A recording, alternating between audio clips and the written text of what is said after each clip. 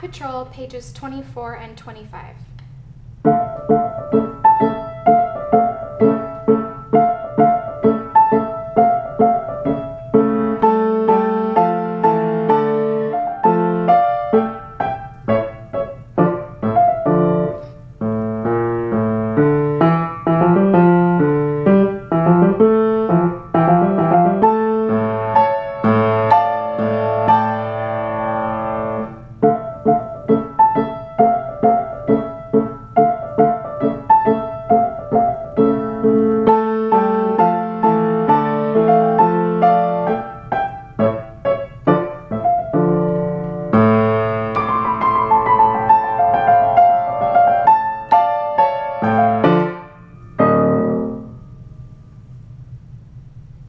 Okay, this piece is it's vivace, which means pretty fast, 116 to 132.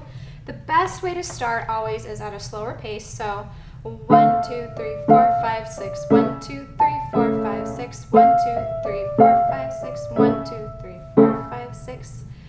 And then slowly work up the tempo. The best way is using a metronome. If you start at 80, each day increase by four or six.